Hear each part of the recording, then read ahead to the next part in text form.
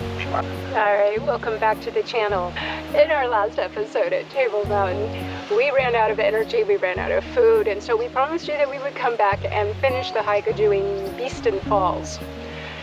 Murphy's Law had other plans in store for us, and we have been sick, and so we did not hit the window that we needed to hit to get to Table Mountain, and it is now May, and the flowers are pretty much kaput. So we have a couple other things in store for you. Uh huh. Yes, motorcycle riding. Motorcycle riding. So we are going to hop on Katy, and we are going to go all the way to the north end of Lake Oroville and see Lime Saddle Campground and Marina, and we're going to visit a covered bridge. Uh-huh, at Oregon City. We're also going to go to another marina, Bidwell. Bidwell Canyon Marina. That's it. And campground. And also show you the campground that we are staying, which is Loafer Creek. Loafer Creek. And the lake is really full. It's quite beautiful. There's a zillion houseboats out there. And I guess this weekend is probably going to be a big one. Yeah, so let's go check out Oroville, Lake Oroville, and see what we find. All right, let's roll. let's roll.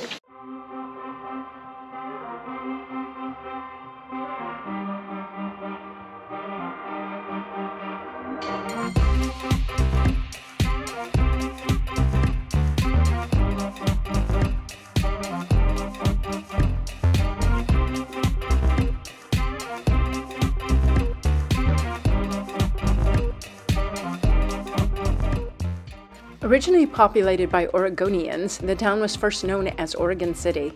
Next came Mexicans from Sonora who outnumbered the Oregonians and changed the name to Campo Seco, which means dry camp, because of lack of water.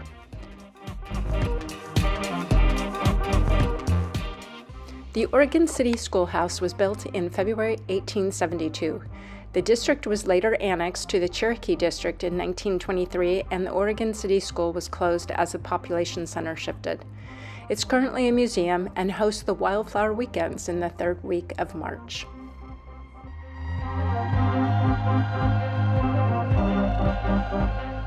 The Oregon City Bridge, also called the Castleberry Bridge, is a 35 foot span over the Oregon Creek. Built in the late 1800s, it was refurbished in 1984.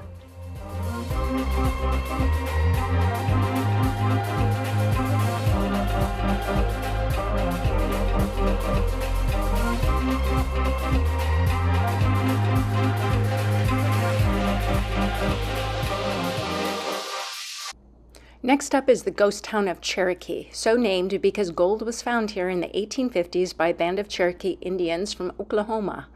Once occupied by the Maidu Indians, this town was the site of the world's greatest hydraulic gold mine.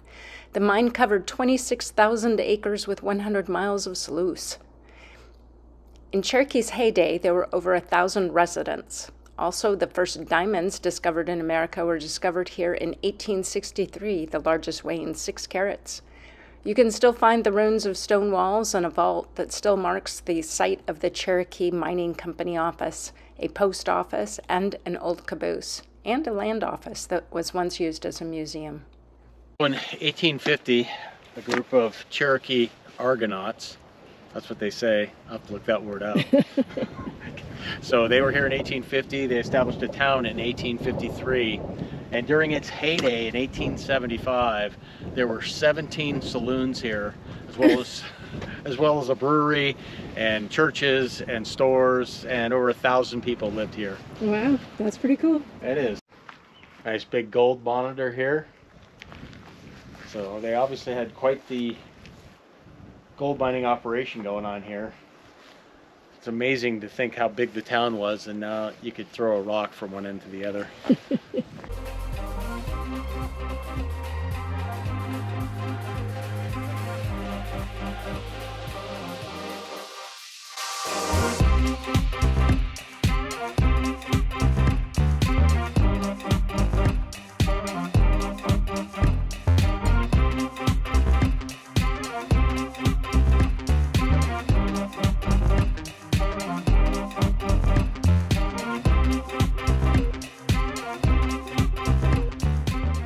Alrighty, we're just camped over at Loafer Creek. We're just taking a look around. How do you like your bike?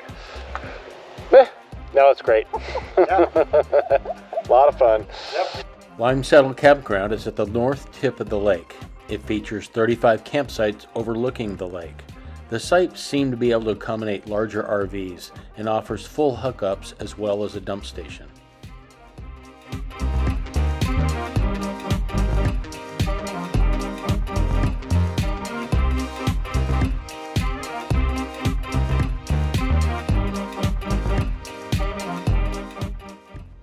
We had hoped to grab lunch at a restaurant at the Lime Saddle Marina overlooking the lake. Unfortunately, there is none. They do have boat rentals, ski boats, motor boats, patio boats. They have a bait shop and a convenience store, but it also was closed today.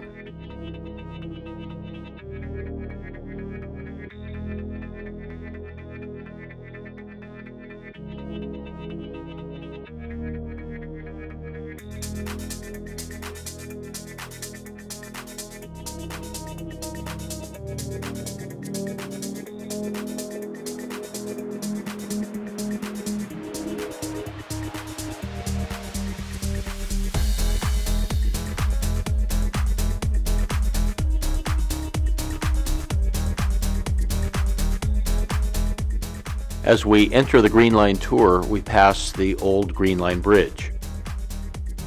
The Green Line Tour is a driving tour which is 15 miles long and it's designated by a painted green line from historic downtown all the way up to the Oroville Dam Visitor Center.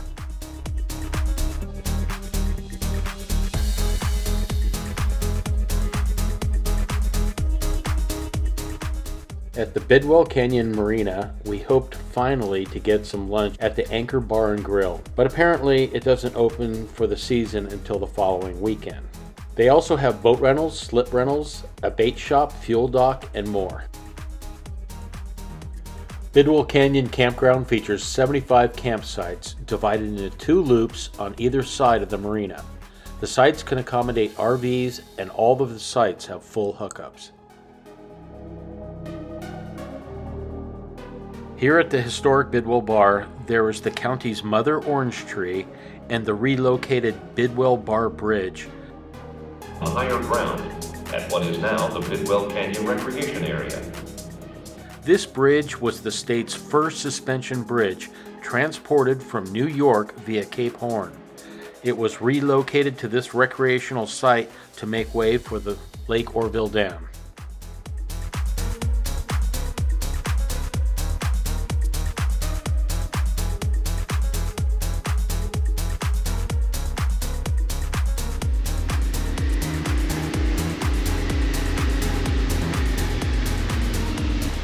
I haven't seen one in the wild before. The Lake Oroville Visitor Center at Kelly Ridge overlooks Lake Oroville and Oroville Dam. A 47 foot viewing tower offers a panoramic view of the dam, the lake, the Sierra Nevadas, the city, the valley, the Sutter Butte mountain range, which is actually the smallest in the world.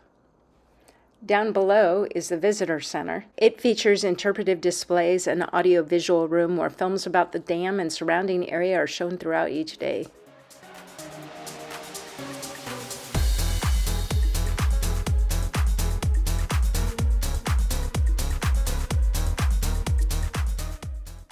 On either side of the core is a transition zone of coarser material. The outer shell of the dam consists primarily of rock, sand, and gravel.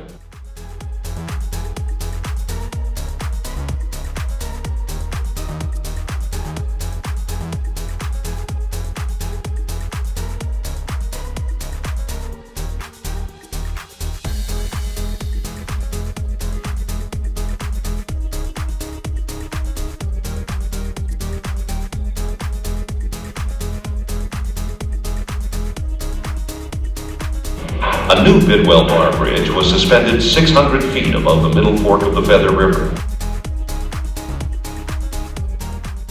Loafer Creek Campground has a nice mix of pull-through and back-end sites. There are no hookups, but each site has nice shade, decent separation, and really nice clean bathrooms.